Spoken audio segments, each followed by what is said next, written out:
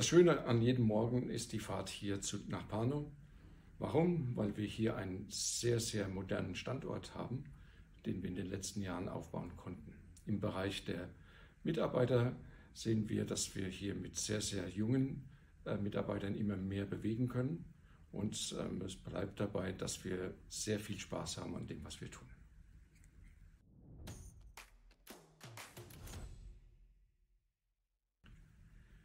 Für die Westküste wünschen wir uns als Pano, dass wir weiterhin an dem Ausbau der Infrastruktur arbeiten, sowohl im Bereich der Energie als aber auch im Bereich der ähm, Transportwege brauchen wir Verbesserungen. Auch im Hinblick auf die Möglichkeiten, dass unsere Mitarbeiter zu uns kommen können, wünschen wir uns Verbesserungen.